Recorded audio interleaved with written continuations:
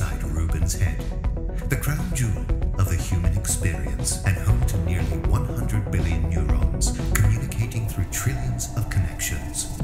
That's more connections than stars.